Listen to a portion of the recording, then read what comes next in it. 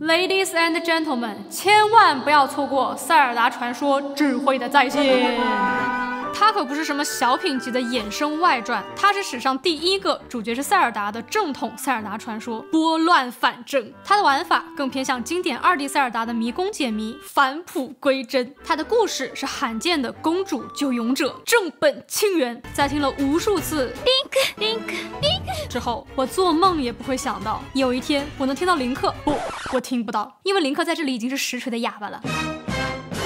我做梦也不会想到，我会接到救出林克的任务，救还是不救，还是晚点再救？在这个拯救林克的使命里，我毫不意外的在各种支线里流连忘返，磨蹭了四十几个小时，甚至体会到了当宝可梦训练师的快乐，才最终把世界给救了。智慧的再现巧妙地结合了传统二 D 塞尔达的迷宫探险和王国之泪引入的开放式解谜，还撒入成长驱动的收集玩法，激烈地碰撞出了一个非常引人入胜的冒险旅程，有点莽撞，非常新奇。智慧的再现最吸引我的就是非常独特的粘土小人画风，实在太可爱、太梦幻了。织梦岛推出以后，我一直都在祈祷能延续这个风格，竟然成真了。这次海拉鲁大陆出现了神秘裂缝，剑士林克在救出公主以后。也被裂缝卷走。裂缝不仅会吞噬一切，还会生成被神秘力量控制的邪恶复制人，干扰世界的秩序。塞尔达也被复制人国王关入大牢，择日问斩。明日午时斩首示众。就在这时，拥有修复世界能力的小精灵托利突然出现，借给了塞尔达拥有复制之力的魔杖。于是，塞尔达公主和托利一起踏上了拯救海拉鲁、救回林克的冒险旅程。托利之杖就是游戏的核心玩法，用它，塞尔达可以复制见过的物品。品和打败过的怪物，收集新的复制品就成了这个游戏最有趣的推动力。每个新的复制品会带来新的移动、解谜和战斗的方式，用新能力去探索新区域，然后解锁更强的移动、解谜和战斗能力。一个非常快乐、非常 RPG 的正反馈循环。复制出来的物品一开始多数都是用来垫脚的，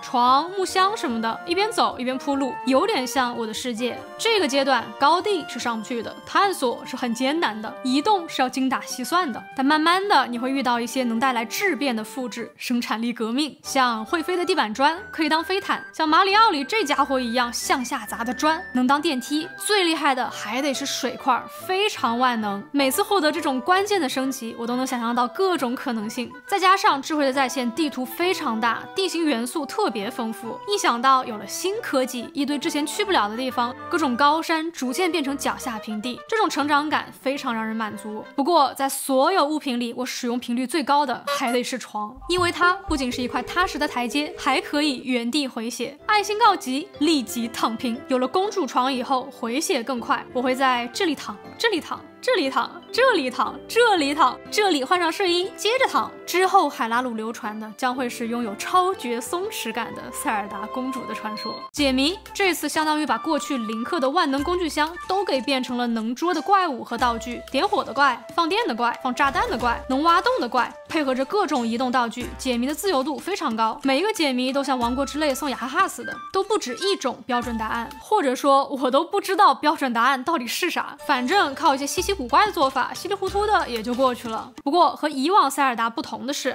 智慧的在线战斗的部分多了很多，几乎和解谜对半开。而塞尔达公主本身恰恰是没有任何战斗能力的。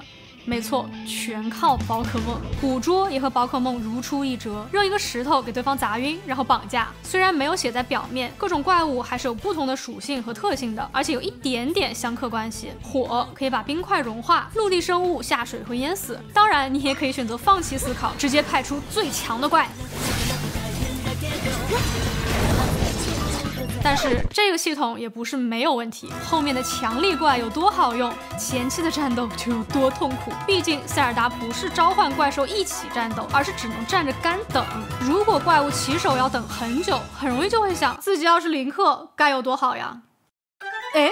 还真能变成林克，不出三剑，再坚强的敌人那也差不多得倒了，简直作弊。只可惜这个剑士模式是需要消耗能源槽点的，只能打一会儿。所以游戏的前一小半，塞尔达是海拉鲁在逃公主的阶段，可能玩起来会不够爽快。但是熬到解救海拉鲁城堡，后面的体验非常好，我可以保证。随着收集到的物品和怪物越来越多，我们的移动会越来越随心所欲，战斗会越来越得心应手，游戏会变得越来越好。玩。哦，对了，一定要尽早带上蛙跳指环，有了它，从跳半格变成跳一格，体验更美好。一口气上五楼，不费劲儿。智慧的在线是一个玩起来没什么负担又很快乐的游戏，我自己在这里也留下了不少美好的回忆。和以林克为主角的塞尔达最大的不同，一个是操纵怪物冒险本身就挺有意思的，还有一个是不同于无牵无挂的林克，塞尔达是一个有很多人爱的角色。在这个游戏里，我清清楚楚的见到了一个这么爱我的英帕，为了救我以身犯险，时时刻刻都在关心着我的安危。国王父亲虽然基本上只是靠说的，但还是疯狂输出了。一堆爱护女儿的发言，甚至是海拉鲁城里的士兵和村民也会对我献上尊敬和谄媚，这些都是扮演林克的时候很难体会到的。虽然主角不是林克，但游戏还是给了林克比较丰富的刻画。米诺米诺村里也有林克的家，床头挂着林克换洗下来的绿帽子，大家路过不要忘记去英雄故居打卡留念。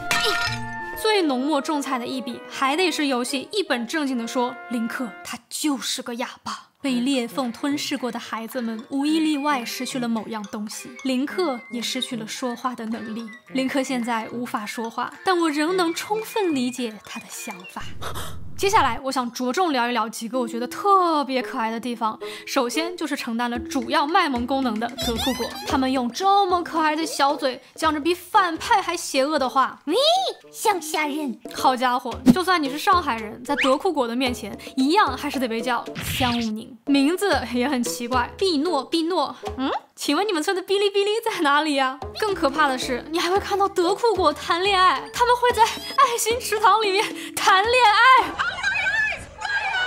离谱的是，德库果还会把你关进监狱，但他们是笨蛋啊，所以你可以跳进罐子跟他们玩一二三木头人，也不会被发现。其他可爱的细节，一个是呼叫公主专属白马的方式是在地上放一根胡萝卜，我每次都会等马儿吃完再出发，真的很温暖。还有就是穿上猫猫服装就可以听懂猫猫说话，太可爱了。当然，游戏里的支线小任务也都很温馨治愈。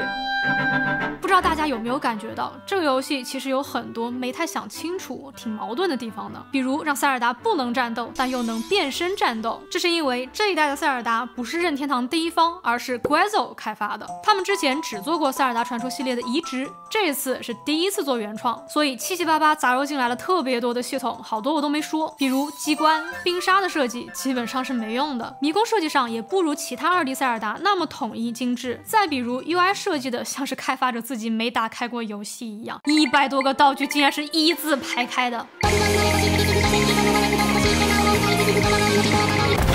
但塞尔达传说智慧的再现依然靠着这个设计的非常有趣的世界让我沉迷。而且它非常大方，诚意满满。复制物品、怪物来战斗解谜本身就是好玩，而且很独特。地图非常大，内容量比我想象的要多太多了，而且越玩越上头，非常值。以及你能感觉到它是认真在 callback 前作，比如爱偷钱、偷东西的乌鸦，老游戏里的丑卓拉族和近代的苗条卓拉族都出现，还都给了名分，河卓拉和海卓拉。最经典的 BOSS 加农一开始它就是猪哦。关于地图，我插播一个，智慧在线的地图竟然是可以。和三十年前众神的三角力量重叠的，重叠之后扩展出来一大圈，多了格鲁德、古龙族、卡卡利克村等等，给人了一种统一了世界观的神奇感觉。当然，这不是在说没玩过系列前作就不能玩了，恰恰相反，我觉得智慧的再现非常适合第一次接触塞尔达传说系列的新朋友。它难度不高，设定完全，非常有趣，而且还是塞尔达当主角的《公主历险记》。塞尔达传说怎么能少得了塞尔达呢？